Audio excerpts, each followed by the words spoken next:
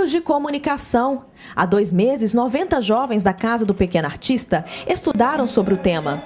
Eles visitaram museus, estações de rádio e emissoras de TV. O encerramento deste projeto aconteceu nesta sexta-feira.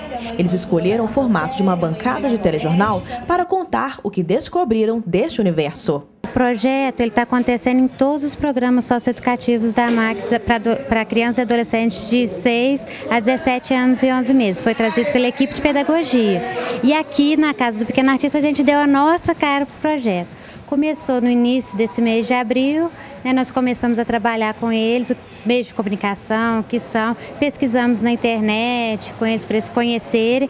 Depois a gente foi levar em loco em alguns museus, rádios e emissões de televisão, porque a gente acha que vivenciando e visualizando, eles aprendem melhor. Os alunos desenvolveram habilidades de emissão, transmissão e recepção de mensagens, seja por meio de sons, sinais, gestos, linguagens oral ou escrita. Complementando a atividade, foi aberta uma exposição com objetos antigos. A exposição é um elo entre os meios de comunicação do passado e do presente, o que contribui para que eles entendam melhor a evolução desses equipamentos. O que você achou desse projeto? O que foi importante para você? Ah, tudo, né? Porque a gente aprende muita coisa aqui e é muito importante para a nossa vida. Ele visa a nos proporcionar uma nova visão sobre os meios de comunicação.